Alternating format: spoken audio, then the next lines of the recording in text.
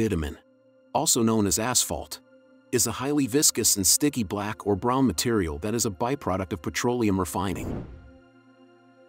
Bitumen is derived from crude oil during the refining process. It is the heaviest fraction that remains after the lighter components, such as gasoline and diesel, have been separated. Bitumen is a complex mixture of hydrocarbons, including asphaltenes, resins, and aromatics.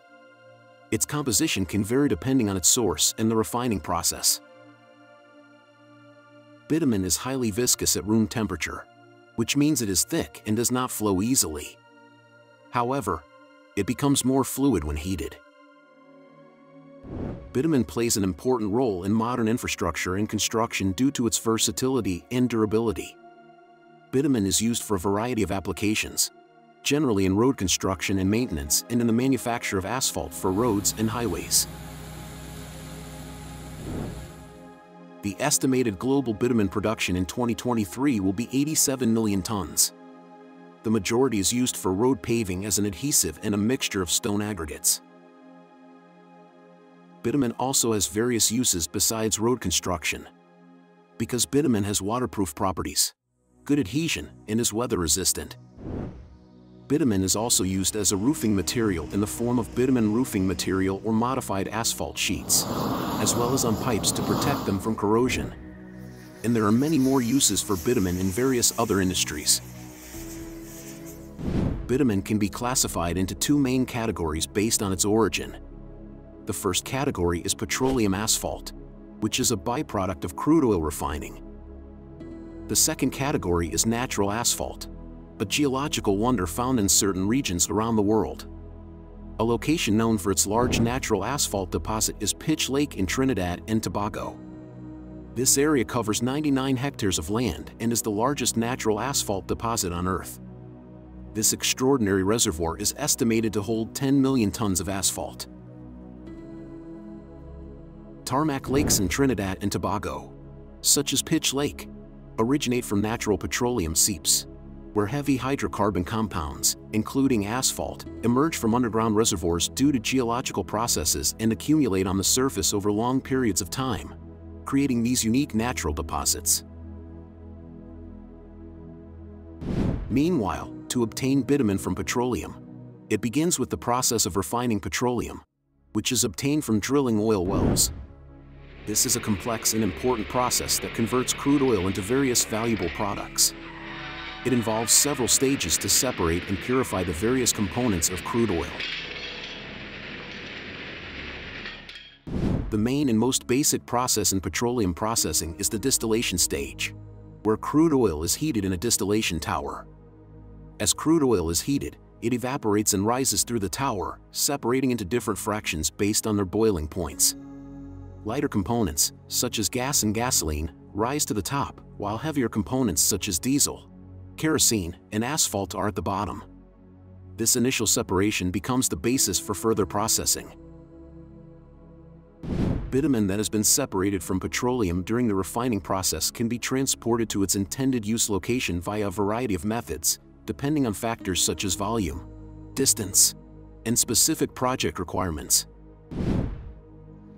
One of the most common methods for short to medium distance transport is via tanker trucks bitumen is heated to reduce its viscosity, making it pumpable, and then it's loaded into specialized, insulated tanker trucks equipped with heating coils.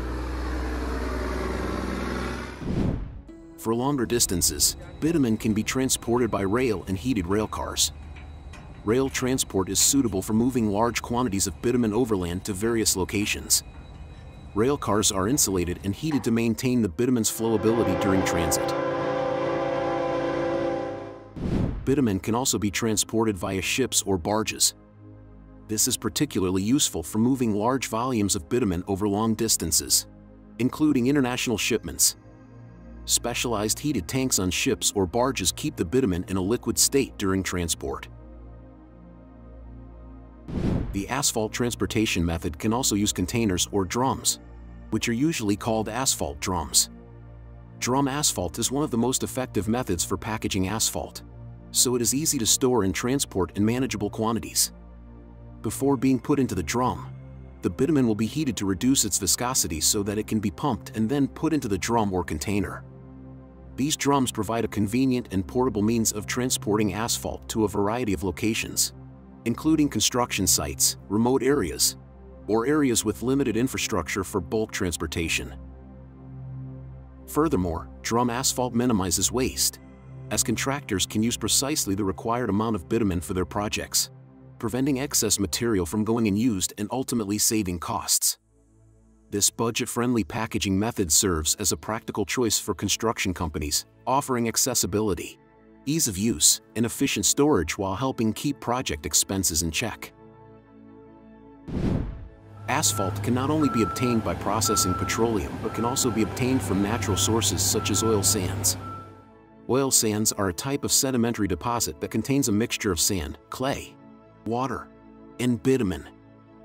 One of the largest oil sands processing facilities in the world is the Syncrude Aurora North Mine in Fort McMurray, Alberta, Canada. The company has a production capacity of more than 400,000 barrels of synthetic crude oil per day. The first stage of the oil sands extraction process is mining. The process begins with the extraction of bitumen from oil sand deposits, most of which are located in Alberta. There are two main types of mining used to extract oil sands, namely surface mining and in-situ extraction. For oil sand deposits located near the surface, open pit mining is the preferred method.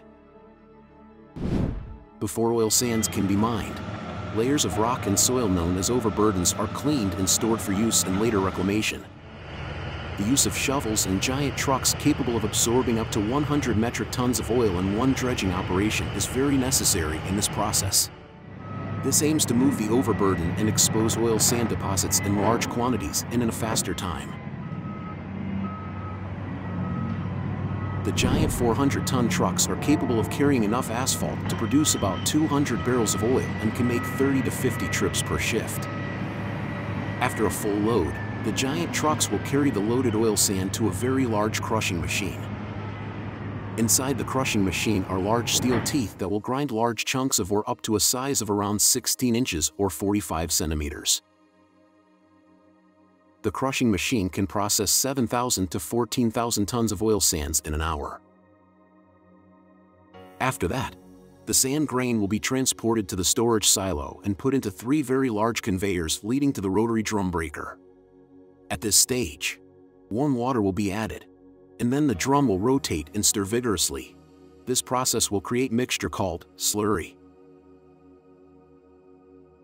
The slurry is then moved through a very long pipe to the extraction plant. This process is known as hydrotransportation. The slurry flows in the pipe, and the flow movement that occurs in the pipe will then agitate the bitumen, thereby starting the initial separation process.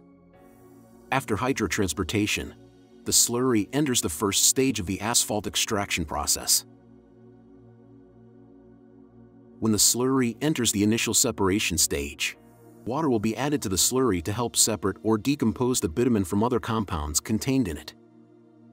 In this separation process, the bitumen will float to the top of the vessel while the sand will sink to the bottom. And the combination of a mixture of water, asphalt sand, and clay is in the middle. This is known as an intermediate process, where it will continue to the next process to get more bitumen. The results obtained from the initial extraction process are called foam. This foam consists of 60% bitumen, 30% water, and 10% solids. The foam that is formed will be continued in the next process, where the foam will be mixed with paraffin, which will reduce its viscosity, and the bitumen will easily settle to the bottom of the vessel. After it settles to the bottom of the vessel, it will produce bitumen that is free of water and solids, which is clean enough to proceed to the next process, namely the addition of hydrogen compounds. A mixture of bitumen and paraffin is called dilbit. Dilbit will then be sent to the next extraction process through a very long pipe corridor and will enter the upgrader column, which functions to separate the diluent and light oil, which is part of the bitumen received from the mine. Dilbit will then be sent to the extraction process and then to the refinery using a pipe. Dilbit will be extracted using hot water, hydrogen, and high pressure so that it will break the large carbon chains that form asphalt molecules and lighter hydrocarbon molecules and will produce crude oil, which is easy to extract in refineries and will later be broken down into various materials high-quality fuel that people use every day.